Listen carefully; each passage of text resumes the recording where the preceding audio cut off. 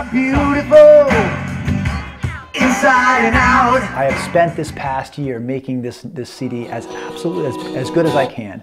When we read, we learn to follow storylines. I have spent so much time in the basement of Dave Tuzia's studio making sure that the songs are what I hear in my head because I don't, you know, without a band I can't practice them.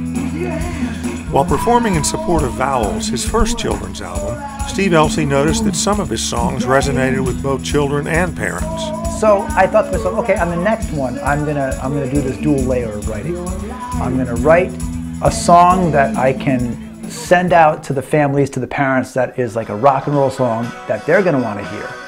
But I'm gonna disguise it with uh, lyrics that kids are gonna want to sing to and that me positive messages that they can take away from my show. We are beautiful inside and out. We have a song called We Are Beautiful. You know you can't judge a book by its cover. Bullying is a big part of that, and, and whether you're big, whether you're small, it doesn't matter because inside you're a wonderful person always. Matter the color of your skin. We are crayons in a box. The title track of the CD, Crayons in a Box, um, you know, that's a song about diversity.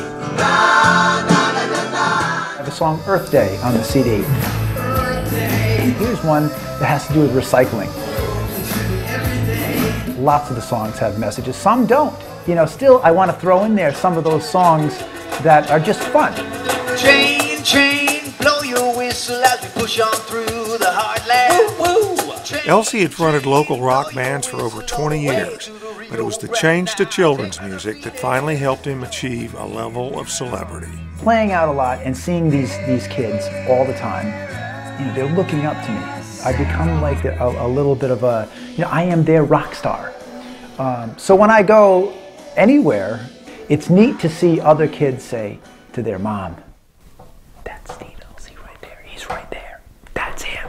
And and and their mom, typically, the- uh, somebody that I know, they look. I always see this. Yep, I know him. yep, we're familiar with him. We'd like to thank you very much.